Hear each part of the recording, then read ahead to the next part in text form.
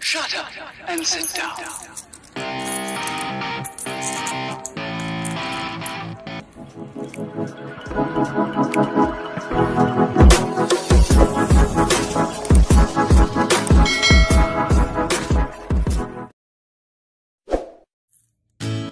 Halo para pecinta koin kuno.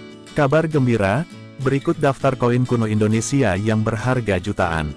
Uang koin kuno belakang ini tengah naik daun. Hal itu tak lain karena harganya yang dibeli mahal oleh sejumlah kolektor. Ya, walau bernilai recehan, sejumlah uang kuno di masa depan nilainya semakin bertambah. Walaupun kolektor uang kuno tidak begitu populer dibandingkan kolektor perangko, mereka tetap bersedia membeli koin kuno dengan harga mencapai ratusan juta. Dilansir dari laman DJKN Kementerian Keuangan Kemenkeu, orang mengoleksi uang kuno, baik dalam bentuk koin maupun kertas disebut dengan numismatis. Para numismatis memiliki tujuan dalam mengoleksi uang kuno untuk mempelajari sejarah politik, cara pembuatannya, ciri-ciri pemalsuan, sampai investasi. Mereka menjadikan koleksi uang kuno, baik koin maupun kertas sebagai hobi yang menyenangkan karena kagum akan desainnya, nostalgia masa lalu, hingga cerita di balik uang tersebut. Uang kuno ini dapat dijual secara online maupun offline, dari dalam negeri hingga luar negeri. Di Indonesia sendiri, uang kuno atau uang logam berbentuk koin masih banyak dicari oleh para kolektor. Koin kuno memiliki daya tarik tersendiri, hingga menjadi perbincangan hangat di marketplace. Berikut ini uang logam kuno termahal Indonesia dan banyak dicari oleh kolektor. 1. Koin kuno Rp250. Koin kuno pecahan Rp250 ini hanya beredar sebanyak 5.000 keping. Oleh karena itu, koin ini paling banyak dicari oleh para kolektor. Koin bergambar burung Garuda dan patung Manjusri ini ditawarkan dengan harga Rp500 ribu per kepingnya. 2. Koin kuno Rp2.000. Koin kuno pecahan Rp2.000 yang diproduksi sebanyak 2.970 keping saja ini sangat dicari oleh para kolektor.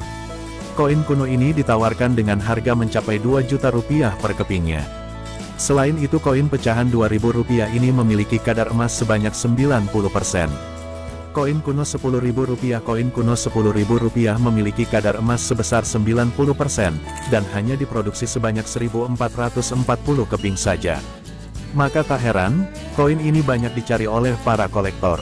Koin ini ditawarkan dengan harga 4 juta rupiah atau lebih untuk tiap kepingnya. 3. Koin kuno 100 rupiah. Koin kuno pecahan 100 rupiah bergambar wayang dan rumah gadang yang dikeluarkan pada tahun 1978 ini menjadi koin yang dicari oleh kolektor. Koin kuno ini dibanderol mulai dari harga 100 juta rupiah hingga 400 juta rupiah per kepingnya. 4. Koin kuno 500 rupiah Koin kuno pecahan 500 rupiah bergambar melati dan berwarna kuning yang dikeluarkan pada tahun 1992 ini memiliki harga yang fantastis. Koin kuno ini ditawarkan dengan harga 100 juta rupiah hingga 400 juta rupiah tiap kepingnya. Dapatkan update berita seputar harga TBS sawit, CPO, industri kelapa sawit dan seputar koin setiap hari dari Tiang Awan Channel. Jangan lupa like, comment, and subscribe. Tonton semua videonya. Thank you.